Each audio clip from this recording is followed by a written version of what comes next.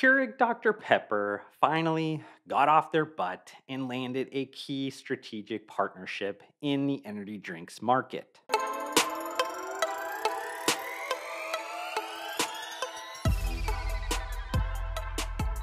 Can I just start off this content with taking a bit of a victory lap? I know these predictions that I make in content mean of little to nothing in the grand scheme of things, but getting them correct validates all the hard work that I put into creating each and every one of these. So, what the heck am I cheering about exactly? Here's a clip from a piece of content that I made in October 2021 that was titled Keurig Dr. Pepper buys these five beverage companies next. In it, I not only explain my conviction pick for the energy drinks category, being Nutrabolt, aka C4 Energy, but also provides a ton of logic on the valuation and some other key points that seem eerily familiar to yesterday's news. In terms of the energy drinks portfolio, KDP is far behind its kind of three headed monster of competition with PepsiCo and Coca Cola. And then they would also be obviously trailing market leader Red Bull and then Monster Beverage Corporation and even Bang Energy. But they also could be getting passed pretty quickly if we consider AB InBev owns a portion of Ghost Energy, and then even Molson Coors, which owns a minority share in Zoa Energy. And I know how interested KDP is in the energy category because I was working on the Big Red Science project right before the acquisition from KDP. But I think they're going to need more firepower than they currently have. The most flashy, maybe acquisition that could be out there for KDP in this category would be Celsius energy drinks. But I think at the current publicly traded market cap at around $7 billion, it's way too expensive for KDP, and I'd probably lay off for that reason. I also think the most logical pick would be to just acquire Adrenaline Shock they already distribute the brand nationally and have deal making history with Lance Collins that also founded Core. I just don't think Adrenaline Shock is splashy enough, though, so maybe KDP looks down I 35 in Austin and acquires Nutrabolt. Despite overall revenue being higher than Celsius, I think Nutrabolt would actually be cheaper to acquire. C4 Energy has a lot of momentum building. And then the powders business shouldn't be all that scary in 2021 as the market for them has moved to mainstream and lifestyle, and they're already dealing with a lot of the sales channels that KDP is strong in, anyways. So I don't necessarily think that the predominant amount of business being from Nutrabolt being in powder should scare KDP away I'll unpack all of that and more throughout this content, but let's kind of cover the details from the KDP and C4 Energy strategic partnership, including the long term sales and distribution agreement and a significant equity investment that enables KDP to participate in value creation upside expected to be created throughout the strategic partnership. Under the long term sales and distribution agreement, KDP will sell and distribute C4 Energy in the vast majority of KDP's company owned direct store distribution territories.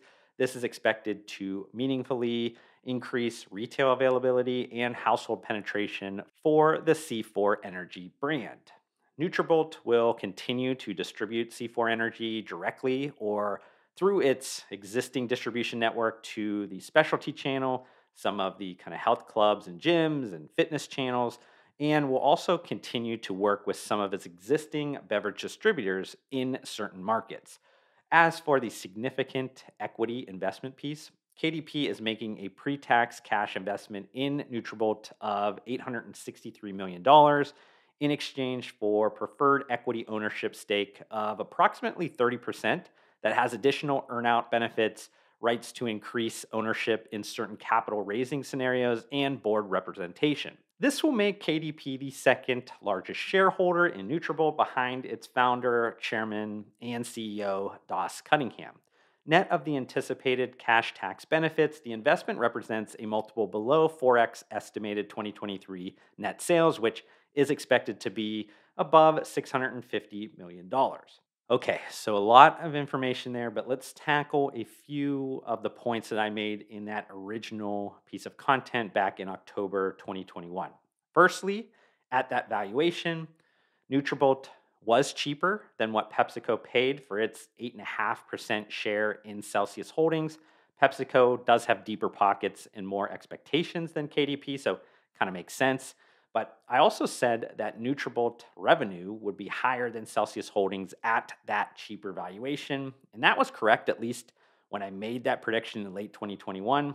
But since Celsius Holdings is currently growing at an insane 126% year over year in the first nine months of 2022 off an already huge base, they will likely reach that $650 million annualized revenue level this year, the same number that's predicted at Nutrabolt next year. Next, I mentioned the, the current stable of energy drink brands at KDP that make up less than 1% of its total revenue isn't going to cut it when competing against the categorical market leaders. Acquiring more or all of Adrenaline Shock wasn't the answer uh, to KDP stopping its categorical ass whipping. Finally, I said KDP shouldn't fear the C4 powder side. That is pretty much 50 50 with beverages right now. For one, KDP already handles a lot of like dry goods business with its coffee systems segment. But above and beyond that adjacent familiarity, you have the sports and active nutrition industry that's undergone a huge shift in marketplace dynamics. I've been barking about this stuff for the last like five to seven years, but for my big CPG folks, it's this like huge pot that's melting together things like an overall mainstreaming effect in consumer intents around active lifestyles and it's that broader appeal that's disseminating the category across all large retail channels. Plus, don't forget the insane kind of proliferation of both brands and products from the low barriers to entry environment that's elevating the competitive landscape to this only the strong survive scenario, which has begun incubating extremely impressive companies that can steal share from conventional market leaders up and down the categorical scoreboard. While this take might be biased, I've always believed the best and brightest companies in the sports and active nutrition space are the influential epicenter for the entire CPG industry. That's why I've always been proud to say that's where I've cut my teeth in the CPG industry, and that background has been highly advantageous in my career. On a kind of last supporting note to the comfortability around Nutrabolt's revenue mix, one that KDP likely considered was reviewing the recent moves of PepsiCo within its functional nutrition division, mostly Gatorade, to see there's value creation opportunities even at the highest level when you do get deeper into the various supplement industry niches. But let's shift this content into some under the radar kind of like business X's and O's or like blocking and tackling reasons why KDP chose Nutrabolt. Also, a little history on Nutrabolt for those that maybe aren't familiar. And I want to explain why this investment fills an important short term need at KDP and also potentially creates a long term advantage. My personal feelings on Nutrabolt are that they are one of like the most organizationally and financially mature and buttoned up companies I've seen coming from the sports and active nutrition space. That makes the strategic partnership easier for KDP and lowers the risk of the deal. Additionally, I think C4 Energy is a sleeping giant. It has great growth, it's a great product, and a proven brand name that works great in the energy drink space. Now, I'm going to kind of skip over a lot of the earlier Woodbolt distribution origin details because most won't really care. But the important year for the company was 2009 when the sports nutrition brand Cellucor launched in GNC. Two years later, Cellucor launched the C4 pre workout product, which is now and has been for several years the leading pre workout brand globally. Throughout the next few years, Woodbolt Distribution, aka the holding company that's now known as Nutrabolt, launched several other supplement brands like Neon Sport and Royal Sport that ended up not being successful for one reason or another. In April 2017, Nutrabolt made its only, or at least from my recollection, its most notable acquisition in Scivation, the maker of the number one post workout recovery brand in the US, Xtend. The Xtend brand is still within the portfolio, and while they just kind of revamped it and turned it into like hydration sticks a la Liquid IV, I'm not confident it has any material value long term to KDP.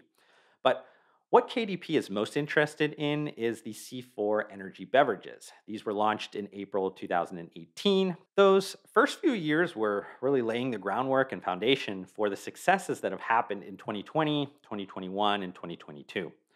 C4 Energy has now become one of the fastest growing performance energy drink brands in the US market. In the last 52 weeks, C4 Energy has done around $300 million in sales. In comparison, the existing energy drink portfolio of KDP has done less than $50 million. That's really the easiest contextual point I can make that shows just how important this C4 Energy deal is for KDP. Everyone has been wiping the floor with KDP and arguably the most important category in beverage right now. Beyond that short term, obvious beneficiary stuff, KDP also knows the importance of owning more of the energy everything occasion. Now, I've mentioned this concept that I've coined before called energy everything a few times, but just to kind of recap, it's basically the simplification of the consumer interest in caffeine. That can come in the form of coffee at home, coffee away from home, RTD coffee, energy drinks, and energy powders. These all compete at the end of the day for a consumer's interest for consuming caffeine to get a boost of energy. So, with KDP, the Keurig machines and pods obviously own the at home coffee category. Nutrabolt owns the energy powders market. Nutrabolt is also a sizable competitor, at least will be in the future, in the energy drinks market. And since KDP won't be owning coffee shops, its shareholder, main shareholder, I think at this point, JAB Holdings already does do that anyways. Now it just needs to kind of figure out the RTD coffee situation. it probably should acquire Super Coffee already. When they do that, KDP will be one of the biggest energy everything market share owners. Now, for this last part of the content, I want to talk about some outside stakeholders that were kind of winners and losers in this announcement. And kind of what do they say? You should always start with the bad news first, right? The biggest loser, in my opinion, in all this is AB InBev. This is the third L that they've taken recently in the energy drinks market. They've built up Bang Energy and they left for PepsiCo. They also built up Celsius Holdings and they replaced Bang Energy at PepsiCo. And now they have C4 Energy leaving for the most part. Now, on the flip side, this must make all similarly structured kind of powders and beverage, sports, and active nutrition brand portfolios like Congo Brands, the owner of Alani Nu and Prime, and then also Ghost, very happy. Just like in athlete negotiations and sports leagues, when there's a ton of free agents at the same position that are on the market at the same time, it's that first deal that sets the tone for everyone else to peg themselves against that. Ghost is probably extra happy because of what I just said about AB InBev. If it's possible to have a $60 billion company by the balls, Ghost might be the closest to that reality. But don't feel bad for AB InBev. I think they have some like young Clydesdales in St. Louis that might prove important long term. This is probably the case where I kind of wink at you and say, if you know, you know. A final winner in all this is the performance energy drinks market. Now, Bang Energy laid the groundwork for everything and made it possible for deals like C4 Energy and Celsius Holdings to even happen. Alternatively, the Bang Energy bankruptcy that also throttled the subcategory growth and put a kind of minor question mark in the beverage players' heads. But that all got cleared up with this deal, and it's back to rainbows and unicorns. I hope you enjoyed this YouTube video. If you did, consider hitting the like button to support me. Also, help me get to my short term goal of 2,000 subscribers by hitting that subscribe button. I'd love to see you join me on this journey, but we need to fix the fact that almost 80% of you that are watching this YouTube video right now are not subscribed to my channel, and that makes me extremely sad. But I do want to thank you for tuning in, and I'll see you on the next one.